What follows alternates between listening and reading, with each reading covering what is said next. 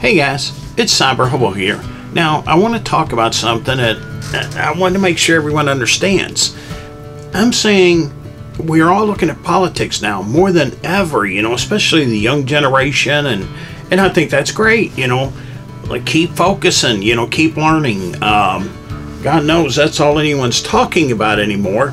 But the more we can do this, the more educated everyone gets about politics and maybe it'll start people, you know, getting them into politics and saying, hey, you know, get some old guys out, get some new blood in, see if y'all can figure this out. That oh, I guess, you know, for the most part, we haven't figured out, a lot of things um, yet, you know, but hey, it's a work in progress, you know, so everyone needs to remember that.